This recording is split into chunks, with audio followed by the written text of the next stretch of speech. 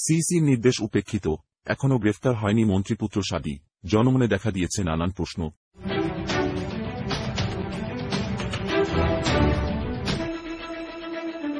বিভিন্ন ভোট কেন্দ্রে ব্যালট বই ছিনতাই, দিনভর জোরপূর্বক নৌকাপতিকে সিল মারাসহ নানান ঘটনার মধ্য দিয়ে সদ্য সমাপ্ত হয়েছে দ্বাদশ জাতীয় সংসদ নির্বাচন। মনোহরদী ও বেলাব দুটি উপজেলা নিয়ে নরসিংদী চার আসনটি। এই আসনটিতে এবারে নির্বাচনে প্রতিদ্বন্দ্বিতা করেছেন শিল্পমন্ত্রী নুরুল মজিদ মাহমুদ হুমায়ুন। বেলাবো উপজেলার সল্লাবাদ ইউনিয়নের ইব্রাহিমপুর সরকারি প্রাথমিক বিদ্যালয় ভোট কেন্দ্র।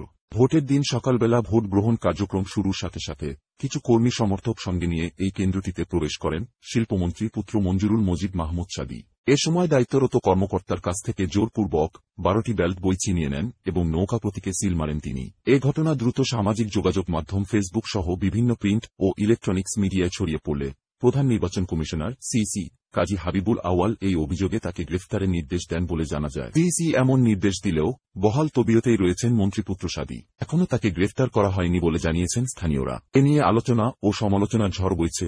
জেলার রাজনৈতিক, সচেতন মহল ও স্থানীয়দের মাঝে। তবে জাল ভোট দেওয়ার অভিযোগে ভোট গ্রহণ সহ কেন্দ্রটি বাতিল করেছেন রিটার্নিং কর্মকর্তা ও জেলা প্রশাসক ড. দুল আলম। এ ব্যাপারে বেলাবো উপজেলা নির্বাহী কর্মকর্তা ও সহকারী রিটার্নিং কর্মকর্তা হাসিবা খান জানান, অভিযুক্ত সাদিকে গ্রেফতারের জন্য পুলিশকে নির্দেশ দেওয়া হয়েছে।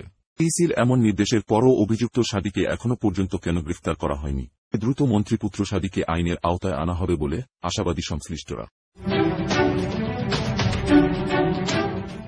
চেতনা টিভি স্বাধীনতার চেতনায় চির উজ্জ্বল আমাদের থাকুন।